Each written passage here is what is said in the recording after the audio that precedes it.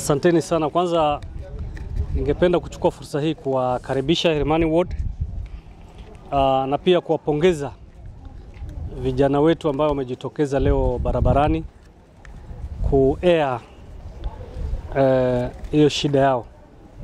Mimi kusema kweli, mpangilio ya hii maandamano sikuwa najua, lakini nilipigiwa tu jana usiku nikaambiwa kwamba kuna maandamano ambayo inataka kufanyika dhidi yangu eh, kwamba mimi nimezembea kazini, kwa hivyo vijana wanataka kufanya kazi. Na katika sheria nafikiri ni ibara ya 37 kuna haki ya watu kufanya maandamano ili kutoa sauti zao zisikike. Kwa hivyo mimi niliwaambia ni sawa, uh, wafanye maandamano bora ikuwe ni amani. So asubuhi kuamuka nikaambiwa kwamba maandamano ilikuwa kuhusu hospitali hospitali, hali ya madawa, uh, upetetevu ya ufanyikazi ya madaktari, ndio wananchi wameongelea. Kusema ukweli, hospitali zetu kaunti mzima ziko na shida, kaunti hii mzima iko na shida.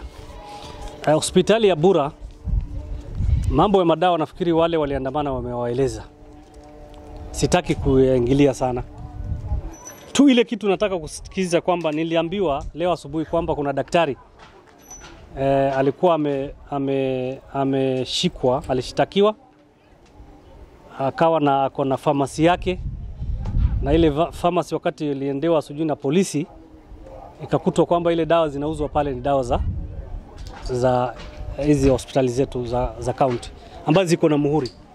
Kama hiyo jambo ni kweli, nataka niwaambie O, wale ambao wameshika huyo jamaa, kama ni kweli huyo mtu afikishwe uh, kotini. Asipofikishwa kotini, tutafuatilia tujue ni nani, ofisa gani alimshika na aliwaachiliwa kwa sababu gani. Moja ni hiyo hiyo ya madawa, sitaki kuingilia sana. Pili, nafikiri hospitali yetu wakati muliingia, muliona kuna jengo ambayo ilikuwa kwa mkono wetu, mkono wenu wa kushoto. Ili jengo ni ya radiology ile jengo limekaa hapo three, three, three years now down the line, ambayo kwa bajeti yake ilikuwa contractor alipewa kazi akafanyiwa first payment, ile ilikuwa afanyiwe second payment amalize, hakulipwa mpaka huyo mtu contractor saa amehama, ameenda ng'ambo, ako US saa hivi vile tunaongea, na hiyo nyumba mpaka saa hii haijaisha. Kwa hivyo shida ambayo tuko nao ni hiyo radiology, kitu kidogo kitaka kupigwa picha, watu wetu wanakimbia Hola ama Garissa. Kuna theater ambayo imekaa 8 years pale, 8 good years. Kuna daktari aliletwa akajaribu kufanya fanya kidogo, lakini kwa sababu hakuna zile vitu ambazo zinatakikana, saa hii haifanyi kazi. Wodi zetu hakuna wodi ya wanaume. Mimi nime, nime, nimesema wacha nikuwe mfano, niangalie shida ya hospitali ya Bura. Wiki iliyopita mama yangu alikuwa mza, uh, mamangu mzazi alikuwa mgonjwa. Huyu mama nilimchukua nikampeleka pale, akalazwa siku nne.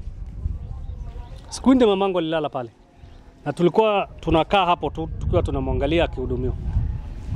Shida ni kwamba pale hakuna hata uh, wodi ya wanaume. Wanaume wakiletwa, wodi imekatwa katikati, wanaume wanalala upande hiyo, wanawake wanalala pande hiyo. Choo naye ni moja, choo ni mo, choo ya wagonjwa ni moja. Yule mwanaume anaenda pale, yule mama anaenda pale. Shida ambayo tuko nao. Tatu, tuko na shida, kuna hizi asbestos. Asbestos nafikiri hiyo hospitali ya nini mliona, County Assembly tuliweka pesa mwaka 2023, 2022, 2023, no 2021, 2022 ndo tuliweka budget. Tukaweka budget, department ilikuja ikasema hizi ndo zitatutosha za asbestos, tukawekea hizo asbestos mpaka saa hii Bura hata moja haijatolewa. Holland walitoa nusu, hata ifiki nusu, walitoa kidogo sana. Asbestos inaleta kansa, tumeambiwa kwamba inaleta kansa, na pale kwa hospitali yetu mkiangalia, kuna ile nini ya kutegesha maji imewekwa pale. Mvua ikinyesha, maji inategeshwa inaingia pale kwa drum hiyo tank, alafu wa, wale wagonjwa wanatumia. So tuna expect nini? We are expecting kwamba wale wagonjwa ambao watakunywa hiyo maji kansa lazima itawashika.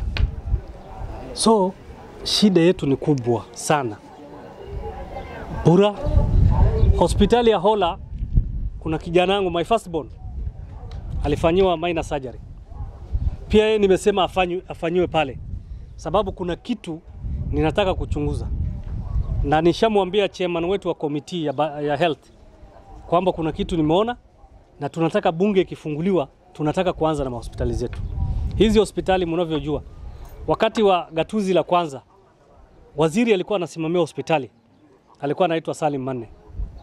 Salim Manne alikuwa impeached na county assembly kwa sababu ya hizi shida. Se second assembly kulikuwa na Mwanajuma.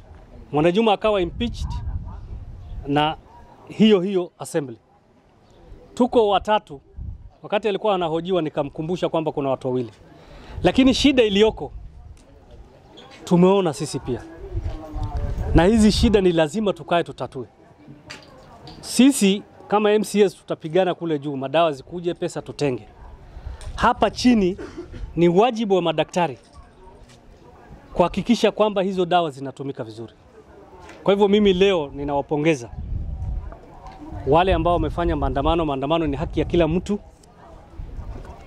Uh, mumesema tuko na shida na hiyo shida itaonekana, na mambo ya kusemekana kwamba hii maandamano imeletwa na wanasiasa. Mwanasiasa MC hapa ni mimi, na mimi sijawahi hepa jukumu langu. Tushafanya, tushawahi fanya maandamano hapa, nikagaramikia nikatoa watu hapa, tukaenda mpaka hiyo barabara kubwa, wakati watu walikuwa nakufa, tukaenda na Kenha tukaonyesha, na barabara yetu alhamdulillah saa hii at least inapitika. Kwa hivyo nikitaka kufanya maandamano, mimi sifichi mtu, ninakuja barabarani nasema tunafanya, lakini hii ni wajibu yangu. Na ninatekeleza kule, na tunataka tumwambie waziri. Popote alipo, waziri wa county, county uh, government department ya health.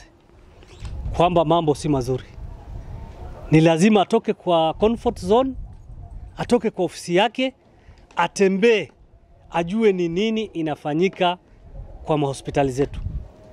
Sasa Steve, tuko na hospitali hapa kidogo sehemu za uh, village 6 ambayo kwa wakulima wanatumia. Ikiwa hiyo hospitali kubwa itakosa dawa, ile ndogo ita, itakuwa nao kweli? Tuko na hapo Meti, kuna dispensary kidogo, tuko na Sabukie na Welesorea, Sorea, tuko nazo. Hata hizi Plaminat, inaitwa Plaminat hizi ambazo watoto wanapewa, hizi ambao wanapewa zinapitia kwa madaktari zetu, zinauzwa zinauzwa hapa madukani, tunajua. Kwa hivyo ni lazima tuwajibike, na kuwajibika kwetu ni kushirikiana na wananchi. Sisi ndio macho ya wananchi.